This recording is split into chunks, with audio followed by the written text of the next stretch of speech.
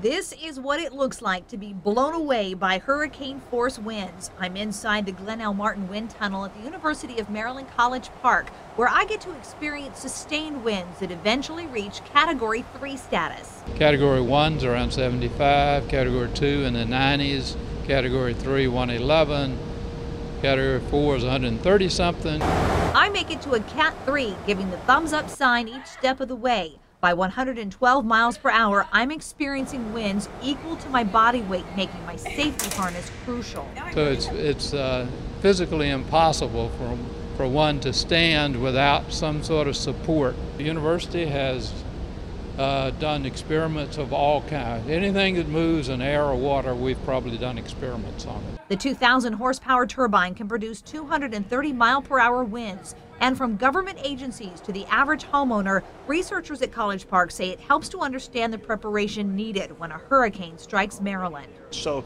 having something like the wind tunnel allows you to examine what's the impact at different speeds, what techniques you can use, better nails, uh, better types of roofing material, ballast that you can put or not put on there, straps as they put in Florida to deal with this. We hope that people will pay attention to your experience so that uh, they'll be more cautious and more respectful of uh, the damage that winds can do. that was intense.